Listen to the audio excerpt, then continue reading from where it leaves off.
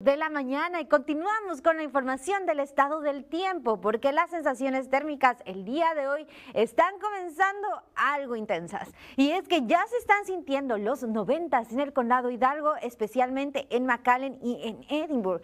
Otras zonas del valle también notamos cómo están esos altos 80 así que realmente nos espera un día bastante caluroso. Es muy importante decirle que usted tiene que cuidar mucho a sus mascotas el día de hoy sobre todo si usted planea irlo a pasear, por favor tome en cuenta que el pavimento va a estar muy caliente debido a que las temperaturas van a estar incrementando, pero además a partir de las 11 de la mañana tendremos algo más de sol, por lo que ya desde el mediodía tome en cuenta que sus patitas se podrían estar quemando. Si usted tiene que sacarlo, por favor vaya y póngalo mejor en lugares donde haya pasto, no lo haga en el pavimento y sobre todo mantenga a su animalito dentro de su casa bien hidratado, porque ellos también podrían tener golpes de calor.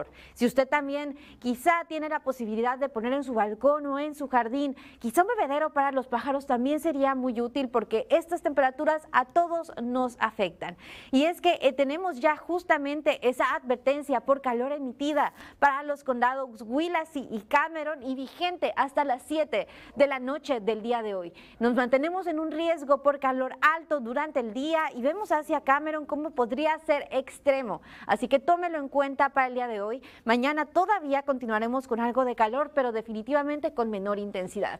Los consejos, beba suficiente agua el día de hoy, además de que por favor se tiene que proteger del sol. Póngase bloqueador solar y estélo reaplicando cuantas veces sea necesario o por lo menos cada tres horas, especialmente si usted va a salir a hacer alguna actividad a la intemperie a partir del mediodía. La vestimenta ligera es una excelente opción, además de usar colores claros. Si usted tiene que seguir haciendo alguna actividad afuera, póngase gorra, póngase sombrero. Eso es muy importante. Si usted también puede conseguir algo manga larga de color claro, es una excelente opción para estos días. Y sobre todo cuida a sus seres queridos, cuida a los niños, a los adultos mayores y también tome en cuenta que si usted va a hacer alguna actividad y va a estar manejando quizá con su niño en el auto, es muy importante que con estas temperaturas opte por no dejarlo dentro, porque si no eh, lo pone con el aire acondicionado o algo sucede después de 10 minutos con esas temperaturas, las sensaciones van por encima de los 120 grados y después de 20 minutos de los 129 grados.